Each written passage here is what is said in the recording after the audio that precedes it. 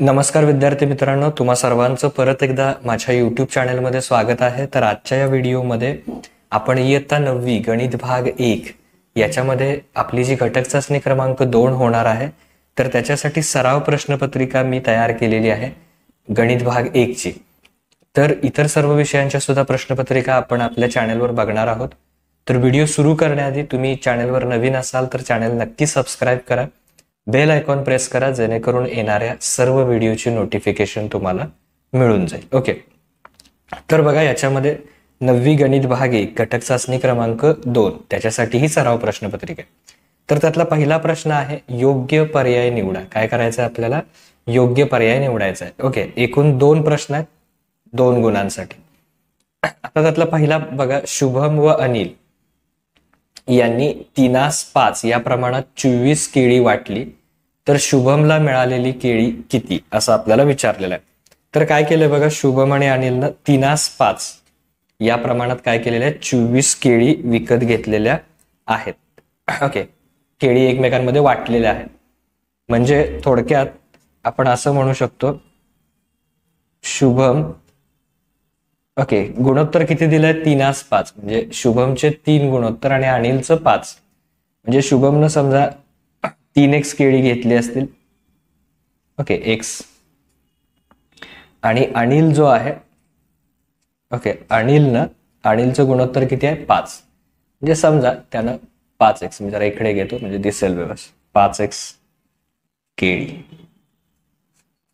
Okay Shubham का तीनास पाच गुणोत्तर आहे? म्हणजे शुभमनं तीन एक्स केळी घेतली असतील आणि अनिलनं पाच एक्स मग दोन्ही मिळून किती आहेत बघा? तर तीन एक्स अधिक पाच एक्स बरोबर चोवीस. ओके म्हणजे तीन आणि पाच किती येणार आहेत? आठ एक्स बरोबर चोवीस. मग गुणिले आठ काय होतील? भागिले म्हणजे चोवीस भागिले आठ. मग एक्स बरोबर आठ त्रिक चोवीस. म्हणजे एक्स बरोबर किती येणार आहेत? तीन. मग आता काय विचारलंय बघा? शुभमला मिळालेली केळी किती? आता याच्यामध्ये बघा शुभमची केळी किती आहे तीन एक्स म्हणजे तीन गुणिले एक्सची किंमत आत्ताच किती आलेली आहे सांगा? तर एक्सची किंमत आलेली आहे तीन. त्यामुळे ती तीन किंमत इथे ठेवायची. म्हणजे तीन गुणिले तीन. तीन त्रिक नऊ. म्हणजे शुभमला मिळालेली केळी किती असणार आहेत? नऊ. तसंच इथं तीन ठेवलात. अनिलला पाच त्रिक पंधरा. पण कोणाची विचारलेली आहेत? तर शुभमला किती केळी वाटली गेली? तर पर्याय कुठला बरोबर येणार आहे? पर्याय डी. ओके याचं आता याचं उत्तर परीक्षेत कसं लिहायचं? तर तुमच्या उत्तर पत्रिकेमध्ये हे काय तुम्ही सोडवलं नाही तरी चालतंय. फक्त पर्याय डी लिहायचा आणि त्याचं आलेलं उत्तर नऊ. हे मात्र व्यवस्थित लिहायचं तुम्हाला इथे एक गुण मिळून जातो परीक्षेत. ओके तर अशा प्रकारे ते काय करायचं? सोडवायचं. ओके तर याचं उत्तर आलेलं आहे नऊ. तर आता त्यातला दुसरा प्रश्न बघा दुसऱ्या प्रश्नामध्ये बघा. आयताच्या लांबीतून व रुंदीतून पाच वजा केले ओके प्रत्येकी. तर त्याची परिमिती किती येते? सव्वीस येते. या माहितीचे गणितीय भाषेतील रूपांतर किंवा गणितीय भाषेतील समीकरण कोणतं येईल असं आपल्याला विचारलं. मग काय करायचं बघा याच्यासाठी समजा तो जो आयत दिलाय आयताची लांबी. ओके आयताची लांबी बरोबर सुरुवातीला काय म्हणे? आयताची लांबी बरोबर एक्स ओके आणि समजा त्या आयताची रुंदी आयताची रुंदी बरोबर हा काय असणार आहे? वाय. एक्स आणि वाय आयताची लांबी एक्स आणि आयताची रुंदी वाय मग आता ह्या दोघातून किती वजा करायचे आहेत? आयताची लांबी व रुंदीतून किती वजा केलेत? पाच. इथं म्हटलंय बघा पाच वजा केलेत. त्यामुळे दोघांच्यातून पाच वजा करायचं. म्हणजे एक्स मधून किती वजा करायचे? पाच. आणि वाय मधून पण किती वजा करायचे? पाच. म्हणजे ही काय झाली तुमची? नवीन लांबी आणि ही काय झाली तुमची? नवीन रुंदी. ओके ही तुमची नवीन लांबी आणि रुंदी झाली. मग आता परिमिती आयताची परिमिती बरोबर. परिमिती बरोबर. काय असतं? दोन कंसात लांबी अधिक रुंदी. हे सूत्र आहे आयताच्या परिमितीच. मग आयताची परिमिती प्रश्नात किती दिलेली आहे? सव्वीस. ओके. मग दोन गुणिले लांबी किती आहे बघा? एक्स वजा पाच आणि रुंदी किती आहे? वाय वजा पाच. मग आता हे गुणिले दोन पहिला काय होतील? जाऊन भागिले होतील. म्हणजे बघा किती येणार आहेत ते? सव्वीस भागिले दोन येणार. ओके गुणिले दोन काय झाले? भागिले. कारण ह्या कंसाला गुणिले आहेत. इकडे येऊन भागिले झाले. एक्स आता बघा. एक्स अधिक वाय हे लिहून घेऊया आपण एक्स अधिक वाय पाच आणि पाच या दोघांची चिन्ह समान आहेत. चिन्ह समान असल्यास काय करावं? बेरीज. म्हणजे पाच आणि पाच किती येणार सांगा? दहा येणार. ओके. म्हणजे बघा पाच आणि पाच येणार दहा आणि दोघांचं समान चिन्ह कुठलं आहे? वजा. मग सव्वीसला दोन न भागलं किती येणार आहेत? तेरा. आणि परत हे वजा दहा इकडे येऊन काय होतील? अधिक. बरोबर एक्स अधिक वाय. म्हणजे सॉरी एक्स अधिक वाय बरोबर तर बघा तेरा आणि दहा. तर तेरा आणि दहा तुमचे किती येणार आहे तेवीस. म्हणजे याचं अचूक उत्तर किती येणार आहे? एक्स अधिक वाय बरोबर तेवीस. म्हणजे कुठला पर्याय बरोबर असणार आहे बघा? पर्याय सी ओके एक्स अधिक वाय बरोबर तेवीस. हे तुमचं बरोबर असणार आहे. ओके तर हे त्याचं उत्तर आपण तिथं लिहायचं एक एक्स अधिक वाय बरोबर तेवीस. तर आता आपण प्रश्न क्रमांक एक ब बघणार आहोत. खालील उपप्रश्न सोडवा. याच्यासाठी एकूण तीन गुण असणार आहेत. ओके खालील उपप्रश्न सोडवा याच्यासाठी. किती गुण असणार आहेत एकूण? तीन गुण. आणि आपल्याला काय करायचं आहे? तर हे तिन्हीच्या तिन्ही प्रश्न सोडवायचे आहेत. याच्यामध्ये तुम्हाला काही ऑर असणार नाही ओके तीन गुण. तर बघा एक्स वजा वाय बरोबर बारा. या समीकरणाच्या एकूण दोन उकली लिहा असं आपल्याला म्हटलेलं आहे. मग हे कसं सोडवायचं बघा? तर एक्स वजा वाय बरोबर बारा या समीकरणाच्या दोन उकली.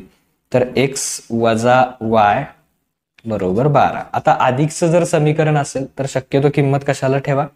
एक्सला ठेवा. आणि जर वजाचा असेल तर वायला ठेवा. म्हणजे काय करायचं? समजा वाय बरोबर आपण एक ठेवूया. किती ठेवूया? वाय बरोबर एक.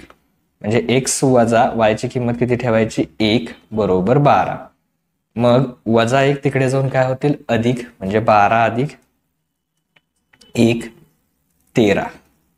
म्हणजे एक्स बरोबर किती आले सांगा? तेरा. म्हणजे थोडक्यात काय? ज्यावेळी वाय बरोबर आपण एक किंमत ठेवली आपल्याला एक्सची किंमत किती मिळाली? तेरा. ही आपली झाली पहिली उकल. म्हणजे एक्स तेरा आणि बारा. बघा तेरा वजा बारा सॉरी तेरा वजा एक किती येणार आहे? बारा. म्हणजे वायची किंमत एक असताना ओके एक्सची किंमत किती मिळणार आहे सांगा? तेरा. ओके आता हे झालं. ओके आता दुसरी उकल काढताना काय करायचं? समजा दुसरी एखादी किंमत ठेवायची कुठलीही ठेवा वाय बरोबर दोन. म्हणजे एक्स वजा आता वायच्या ठिकाणी किती ठेवायचं? दोन. बरोबर बारा. मग वजा दोन तिकडे जाऊन काय होतील? अधिक. म्हणजे बारा अधिक दोन म्हणजे एक्स बरोबर चौदा. म्हणजे दुसरी उकल काय होईल सांगा? तर वाय बरोबर दोन असताना एक्स किती येणार आहे? चौदा. चौदा वजा दोन सुद्धा किती येते? बारा. म्हणजे ह्या दोन उकली तुम्ही काय करायचे कोणत्याही दोन उकली लिहायचे जर अधिकचा असेल एक्स अधिक वाय तर तुम्ही एक्सला किंमत दिली तरी चालते ह्याच्यामध्ये सुद्धा तुम्ही एक्सला किंमत देऊ शकताय. ओके पण उगाच वजा चिन्ह येईल आणि तुमचा गोंधळ होईल. म्हणून मी वायला किमती द्यायला सांगितलं. तर अशा प्रकारचं अधिक आणि वजा पुस्तकामध्ये अधिकचं उदाहरण आहे. एक्स अधिक वाय बरोबर सात. तर ते सुद्धा तयारी करून ठेवा. तशा प्रकारचे प्रश्न तुम्हाला विचारले जाते आता दुसरा प्रश्न बघा. पुढील संख्या परंपरित प्रमाणात आहेत की नाहीत ते ठरवा. आता दिलेल्या संख्यांना पहिल्यांदा काय म्हणायचं? ए बी सी म्हणायचं. म्हणजे पहिली संख्या ए दुसरी संख्या बी आणि तिसरी संख्या सी आठ. ओके मग काय करायचं? बीचा वर्ग करायचा. म्हणजे मधल्या संख्येचा वर्ग करायचा. मग चारचा वर्ग किती येणार? तर चारचा वर्ग येणार सोळा. आणि राहिलेल्या दोघांचा गुणाकार करायचा. म्हणजे कोणाचा? ए आणि सीचा म्हणजे दोन गुणिले आठ. बे टी सोळा. आता बघा एक आणि दोन वर्ण दोन्ही पण काय आलेले आहेत? समान आलेले आहेत. जर का हे दोन्ही समान आले तर आपण काय म्हणायचं बघा? म्हणजे काय आलं? चारचा वर्ग बरोबर दोन गुणिले आठ. ओके. म्हणून काय म्हणायचं? दोन चार आठ हे कसे आहेत? परंपरित प्रमाणात आहेत. प्रमाणात आहेत. असं म्हणायचं. ही परंपरित प्रमाणाची व्याख्या आहे. दोन चार आठ हे काय आहेत? परंपरित प्रमाणात आहेत. तर अशा प्रकारे तुम्ही काय करू शकता? त्याचं उत्तर मिळवू शकता. तर आता त्यातला तिसरा प्रश्न बघूया. तिसऱ्या प्रश्नामध्ये बघा पुढील गुणोत्तर संक्षिप्त रूपात लिहा. काय करायचं आहे आपल्याला? हे जे गुणोत्तर आहे ते कशा रूपात लिहायचं आहे? संक्षिप्त रूपात छोट्या रूपात लिहायचं आहे. म्हणजे काय आहे बघा? वर्तुळाची त्रिज्या व व्यास यांचे गुणोत्तर. हे काय करायचं आपल्याला? शोधायचं आहे. वर्तुळाची त्रिज्या आणि व्यास यांचं गुणोत्तर काय येईल? तर बघा याच्यामध्ये आपण काय करणार आहोत? तर वर्तुळाची त्रिज्या. ओके समजा वर्तुळाची त्रिज्या बरोबर आर आहे. ओके समजा. इंग्लिश अक्षर वापरायचं वर्तुळाची त्रिज्या बरोबर आर. म्हणून वर्तुळाचा व्यास वर्तुळाचा व्यास हा त्रिज्येच्या काय असतो? दुप्पट म्हणजे वर्तुळाचा व्यास बरोबर दोन गुणिले आर. बघा वर्तुळाची त्रिज्या आर आहे म्हणून वर्तुळाचा व्यास किती येणार आहे? दोन गुणिले आर.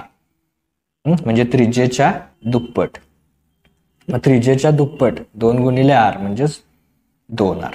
मग आता गुणोत्तर कोणाचं घ्यायचं आहे बघा? वर्तुळाची त्रिज्या व व्यास यांचे गुणोत्तर. असं वाक्य लिहावं तर वर्तुळाची त्रिज्या व व्यास यांचे गुणोत्तर. असं वाक्य लिहायचं. मग वर्तुळाची त्रिज्या किती आहे? आर. आर ला कशाचं गुणोत्तर घ्यायचं? आर ला दोन आर. म्हणजे हे गुणोत्तर आपण अंशाने छेदामध्ये कसं लिहितो? आर छेद दोन आर. तर आर ला आर कॅन्सल. इथे काही नाही म्हणजे एक असणार आहे. म्हणजे किती येणार गुणोत्तर सांगा? एकास दोन. तर वर्तुळाची त्रिज्या आणि व्यास यांचं गुणोत्तर किती असणार आहे सांगा? हे आर ला आर कॅन्सल झालं. काही नाही म्हणजे सहगुणक एक म्हणजे एक छेद दोन म्हणजेच काय? एकास दोन. म्हणून परत एकदा वाक्य लिहायचं. की वर्तुळाची त्रिज्या व व्यास यांचे गुणोत्तर एकास दोन असेल. ओके. तर आता आपण प्रश्न क्रमांक दोन बघूया. प्रश्न क्रमांक दोन काय आहे? खालील उपप्रश्न सोडवा आणि याच्यासाठी एकूण तुम्हाला आठ गुण असणार आहेत. ओके खालील उपप्रश्न सोडवा असे आठ गुण. तर या आठ गुणांच्या मध्ये काय येणार आहे?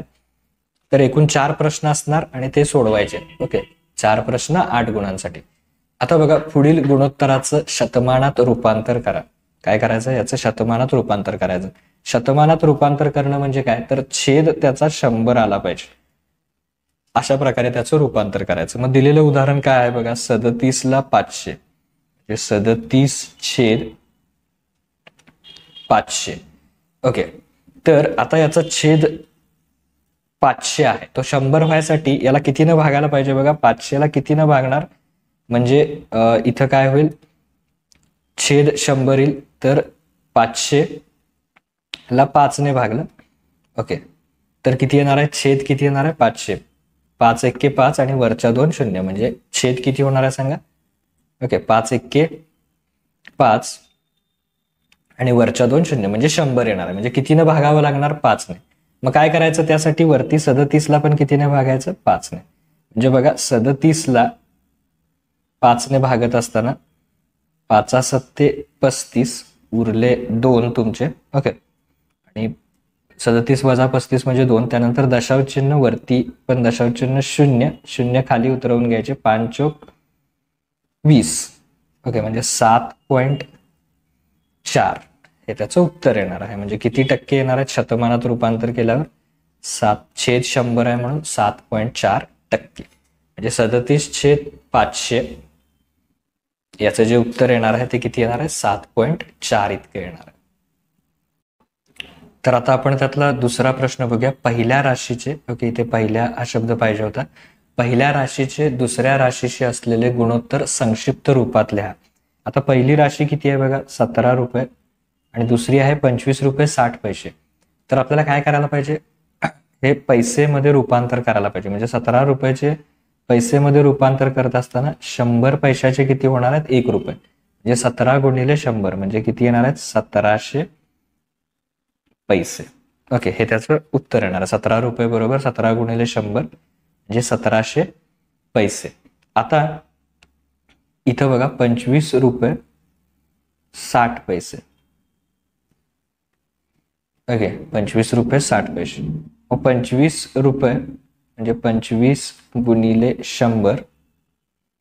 ओके रुपयात रूपांतर करताना काय करायचं? शंभरने गुणायचं. अधिक साठ पैसे तर ते आहेतच. म्हणजे ओव्हरऑल हे सगळे मिळून काय होणार? पैसे. मग बघा पंचवीस गुणिले शंभर म्हणजे पंचवीसशे येईल आणि हे अधिक साठ म्हणजे पंचवीसशे साठ पैसे. आता दोघांचं एकक समान झाले पैसे आणि पैसे. ओके तर मग त्यांचं गुणोत्तर घ्यायचं. म्हणजे किती? सतराशे.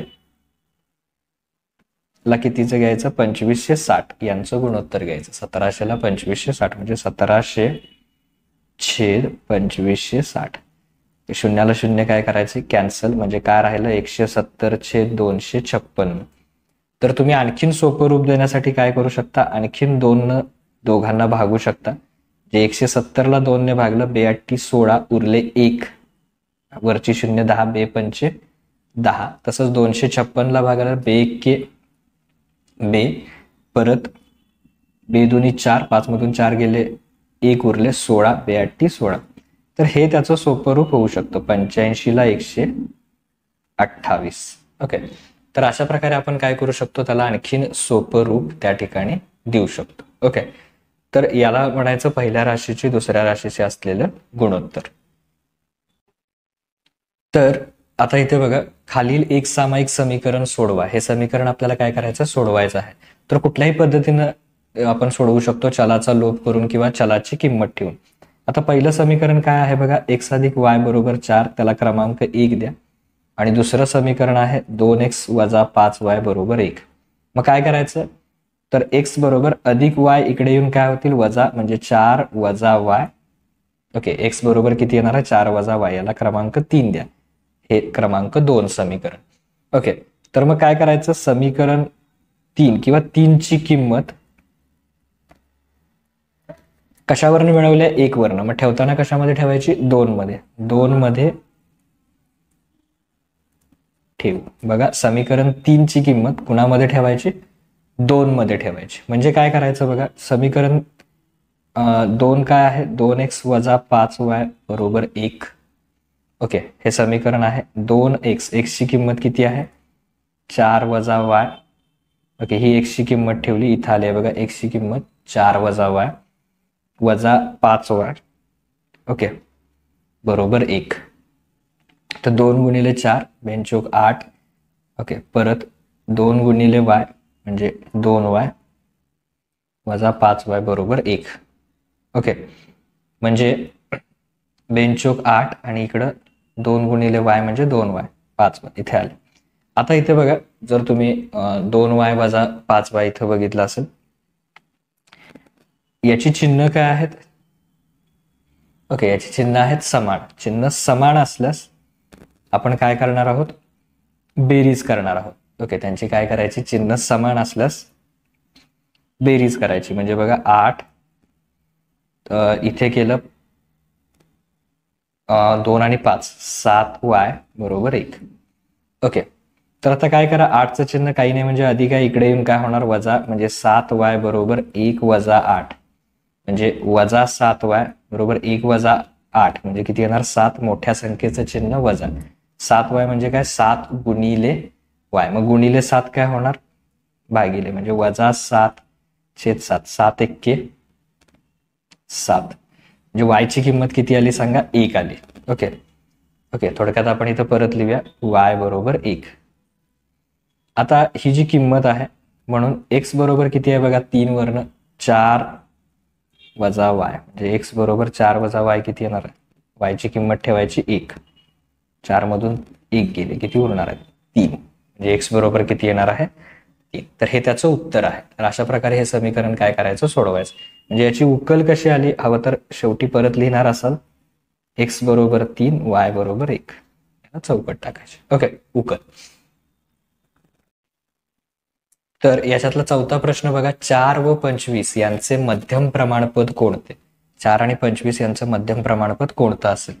तर बघा ए ला आपण काय मांडलं? चार. ओके बी त्याचं मध्यम प्रमाणपद असेल. त्यामुळे बी ला प्रश्नचिन्ह देऊया. आणि सी किती आहे? पंचवीस. ओके तर काय? चार व पंचवीस. यांचं मध्यम प्रमाणपद कोणतं? मग मध्यम प्रमाणपद बी वर्ग कसं असतं? तर राहिलेल्या दोघांचा गुणाकार म्हणजे बी वर्ग बरोबर ए गुणिले सी. मग आता बी वर्ग शोधायचा आहे. ए ची किंमत किती आहे बघा? चार गुणिले पंचवीस. म्हणजे पंचवीस चोक किती येणार? शंभर. म्हणजे बी वर्ग बरोबर किती आले सांगा? शंभर. मग वर्ग जाण्यासाठी काय करायचं? वर्गमूळ घेऊन. म्हणजे दोन्ही बाजूला काय करायचं? वर्गमूळ घ्यायचं. म्हणजे बी वर्गचं पण वर्गमूळ घेतलं शंभरचं पण वर्गमूळ घेतलं. मग वर्गाला वर्गमूळ जाणार. म्हणजे बी बरोबर शंभरचं वर्गमूळ किती येणार? दहा. म्हणजे बी ची अचूक किंमत किती येणार आहे सांगा? दहा. म्हणजे थोडक्यात इथं परत वाक्य लिहायचं आपण शेवटी. चार व पंचवीस यांचे मध्यम प्रमाणपद किती आहे? दहा आहे. ओके मध्यम प्रमाणपद किती आहे? दहा आहे. हे वाक्य सगळ्यात शेवटी परत एकदा लिहायचं. ओके. तर आता आपण प्रश्न क्रमांक तीन बघूया. प्रश्न क्रमांक तीन मध्ये बघा खालील उपप्रश्न सोडवा. तर खालील उपप्रश्न सोडवा. याच्यासाठी तीन गुण आहेत आणि त्यात एक प्रश्न आपल्याला काय करायचा आहे सोडवायचा आहे तीन गुणांसाठी. तर काय केलं बघा इथे विचारलेलं आहे. तेवीस वजा एक्स व एकोणीस वजा एक्स यांचं अठ्ठावीस वजा एक्स हे काय आहे? मध्यम प्रमाणपद आहे. तर मग एक्सची किंमत काढा. तर उत्तरामध्ये पहिल्यांदा काय करायचं? तर बघा तेवीस वजा एक्स व एकोणीस वजा एक्स हे जे वाक्य दिलेलं आहे ते लिहून काढायचं. यांचे अठ्ठावीस वजा एक्स हे मध्यम प्रमाणपद आहे. ओके मध्यम प्रमाणपद आहे. हे वाक्य आहे तसं लिहून काढायचं. आता हे वाक्य लिहिल्यानंतर याचा अर्थ काय होतो? तर याचा जो वर्ग आहे कोण आहे मध्यम प्रमाणपद? अठ्ठावीस वजा एक्स. त्याचा वर्ग. हा कुणा इतका असतो? तर राहिलेल्या दोघांच्या गुणाकारा इतका म्हणजे या दोघांच्या गुणाकारा इतका तेवीस वजा एक्स गुणिले एकोणीस वजा एक्स. मध्यम प्रमाणपदचा अर्थ काय? मधल्या पदाचा वर्ग हा इतर दोन पदांच्या गुणाकारा इतका असतो. मग आता बघा इथं कुठलं सूत्र वापरायचं? तर इथे सूत्र वापरायचं आपण ए वजा बीचं. म्हणजे ए वजा बी कंसाचा वर्ग काय असतो? ए वर्ग वजा दोन गुणिले ए गुणिले बी अधिक बीचा वर्ग. हे सूत्र लिहून काढायचं. मग आता ए ची किंमत किती ठेवणार इथे? अठ्ठावीस वजा बी ची किंमत एक्स त्याचा वर्ग. मग आता अठ्ठावीसचा वर्ग बघा. ए चा वर्ग आहे ना त्यामुळे पहिल्यांदा अठ्ठावीसचा वर्ग करायचा. सातशे चौऱ्याऐंशी वजा दोन गुणिले ए ची किंमत आहे अठ्ठावीस आणि बी ची किंमत आहे एक्स ओके अधिक बी चा वर्ग म्हणजे एक्सचा वर्ग. मग तेच इथं लिहून काढूया आपण.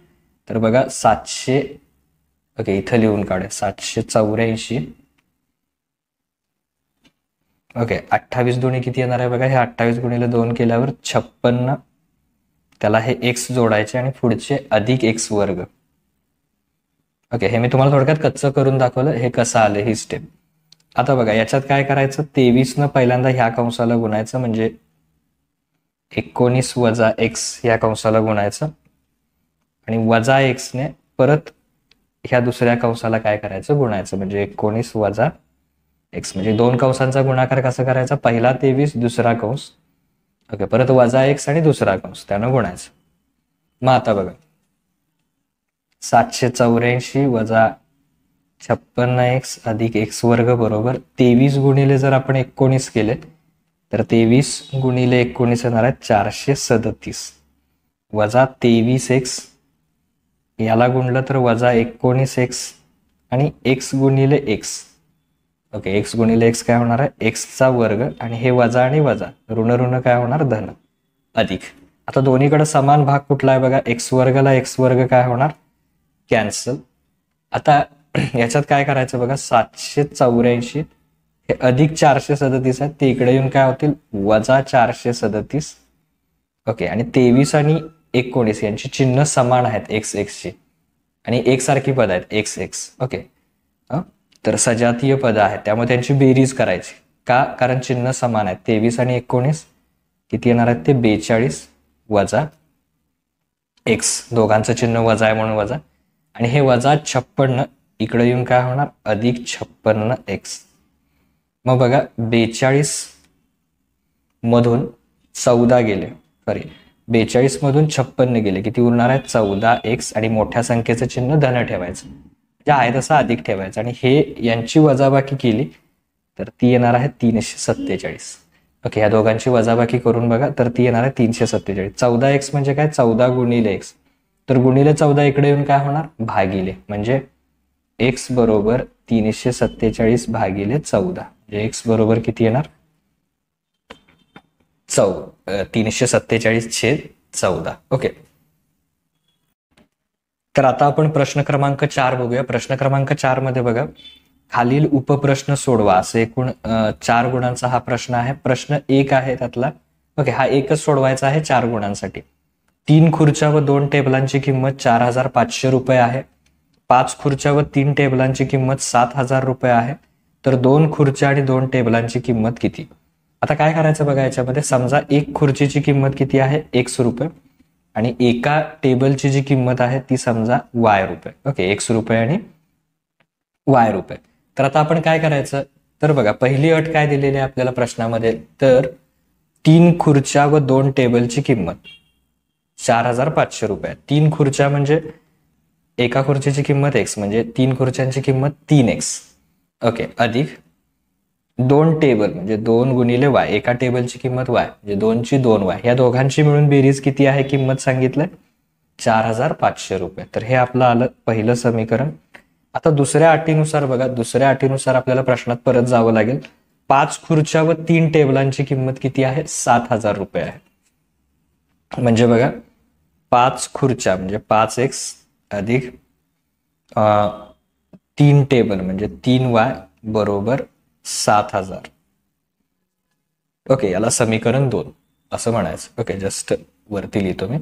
बघा पाच खुर्च्यांची किंमत पाच एक्स आणि तीन टेबलची किंमत तीन वाय बरोबर सात हजार. ओके दुसऱ्या अटीनुसार. आता ह्या दोन समीकरणांमध्ये बघा इथं दोन आहे सहगुणक इथं तीन. याला जर तीनने गुणलं आणि याला जर दोनने गुणलं तर तीन दोन्ही सहा ओके बेत्रिक सहा आणि तीन दोन्ही सहा. म्हणजे सहगुणक काय होतील? सहा सहा समान होतील. मग आता बघा समीकरण एक ला आपण कितीने गुणणार आहे? तीनने गुणणार आहे. आणि समीकरण दोन ला इथं तीन आहे म्हणून कितीने गुणणार? दोनने गुणणार. ओके ह्या संख्येने. म्हणजे बघा पहिलं जे समीकरण आहे ते मी परत एकदा लिहून घेतो. तीन एक्स अधिक दोन वाय बरोबर चार हजार पाचशे याला कितीनं गुणायचं आहे? तर तीनने गुणायचं आहे. ओके जस्ट अ मिनिट इथे थोडंसं इकडे झालं ते. समीकरण एकला कितीने गुणायचं? तीननं. म्हणजे तीन गुणिले ह्या पूर्ण समीकरणाला तीननं गुणायचं. म्हणजे बघा तीन त्रिक नऊ एक्स अधिक तीन दोन्ही सहा वाय आणि परत तीननं ह्या म्हणजे तीनापाची पंधरा तिन्ही चौक बारा हातचे एक सॉरी पाचशे पंधरा हातचे एक तिन्ही चौक बारा आणि एक तेरा म्हणजे एकशे पस्तीस आणि वरच्या दोन शून्य म्हणजे तेरा हजार पाचशे. याला समीकरण क्रमांक तीन द्यायचं. आता बघा समीकरण दोनला जे हे आपल्या जे इथं समोर आहे त्याला कितीने गुणायचं आहे? दोनने गुणायचं आहे. म्हणजे दोन गुणिले कसं लिहिणार बघा ते? पाच एक्स अधिक तीन वाय. ओके बरोबर. सात हजार. ओके म्हणजे दोन न गुणलं तर बे पंचे दहा एक्स बेत्रिक सहा वाय आणि दोन गुणिले सात म्हणजे बेसाती चौदा चौदा हजार येणार ओके म्हणजे दहा एक्स अधिक सहा वाय बरोबर चौदा हजार. आता आपण काय करणार आहोत? तर इथे दहा एक्स अधिक सहा वाय बरोबर किती आहेत सांगा? चौदा हजार आहेत. तर मग याला क्रमांक चार दिला. तर उत्तर शोधण्यासाठी काय करायचं? समीकरण. ओके जस्ट अ मिनिट समीकरण चार वजा समीकरण तीन करून. ओके समीकरण चार मधून समीकरण तीन काय करायचं? वजा करायचं. म्हणजे बघा इथे समीकरण चार आहे तुमचं दहा एक्स अधिक सहा वाय बरोबर चौदा हजार. ओके आणि दुसरं समीकरण तीन आहे नऊ एक्स अधिक सहा वाय बरोबर तेरा हजार पाचशे. आता बघा याचं चिन्ह इथे अधिक आहे इथे पण अधिक आहे. आणि ह्या दोन समीकरणांची काय करायचे वजाबाकी. समीकरणांची वजाबाकी केली की खालच्या समीकरणाचं चिन्ह बदलतं. म्हणजे हे अधिक बदलून काय होणार? वजा. हे अधिक बदलून वजा आणि हे वजा. मग दहा मधून नऊ गेले. किती उरले? एक एक्स. ओके अधिक. बघा आता इथे अधिक मी करत बसणार नाही कारण सहा वजा सहा एकमेकाला काय होणार? कॅन्सल. म्हणजे एक एक्स बरोबर ओके अधिक सहा वजा सहा. सहा वजा सहा शून्य. म्हणजे ते कॅन्सल झाले. आणि चौदा हजार मधून तेरा हजार पाचशे जर आपण वजा केले तर ते येणार आहेत पाचशे. म्हणजे एक्स बरोबर किती येणार? पाचशे. मग आता आलेली ही जी किंमत आहे ती आपण समीकरण एक मध्ये ठेवूया. ओके. म्हणजे काय करायचं बघा एक्स बरोबर किती आलं? पाचशे. आता एक्स बरोबर पाचशे समीकरण एक मध्ये ठेवून का का ठेवायचं? कारण त्याच्यावरनं आपल्याला वाय मिळणार आहे. समीकरण एक काय आहे बघा? तीन एक्स अधिक दोन वाय बरोबर चार हजार पाचशे. तीन गुणिले एक्सची किंमत किती आहे बघा? पाचशे अधिक दोन वाय बरोबर चार हजार पाचशे. म्हणजे तीन गुणिले पाच किती येणार आहेत बघा? तीना पाचशे पंधरा. म्हणजे पंधराशे अधिक दोन वाय बरोबर चार हजार पाचशे. हे अधिक इकडे येऊन काय होणार? वजा. म्हणजे दोन वाय बरोबर चार हजार पाचशे वजा पंधराशे. म्हणजे दोन वाय बरोबर किती येणार ते? तीन हजार ओके दोन वाय बरोबर किती आले? तीन हजार म्हणजेच वाय बरोबर किती आले सांगा? तीन हजार गुणिले दोन काय होणार? भागिले. म्हणजे किती येणार? पंधराशे. थोडक्यात एक खुर्ची आणि एक टेबल यांची किंमत. एका खुर्चीची किंमत पाचशे आणि एका याची टेबलची किंमत पंधराशे. म्हणून दोन खुर्च्या अधिक दोन टेबल. बघा दोन खुर् सॉरी दोन खुर्च्या अधिक दोन टेबल बरोबर. मग दोन खुर्च्यांची किंमत किती आहे? सॉरी एक खुर्चीची किंमत किती आहे? पाचशे. म्हणजे दोन गुणिले पाचशे अधिक दोन टेबल. पंधराशे. हजार पाचशे दोन्ही हजार येणार आणि पंधराशे दोन्ही तीन हजार. म्हणजे चार हजार रुपये. हा काय येणार आहे? एकूण त्याची किंमत येणार आहे चार हजार रुपये. ओके.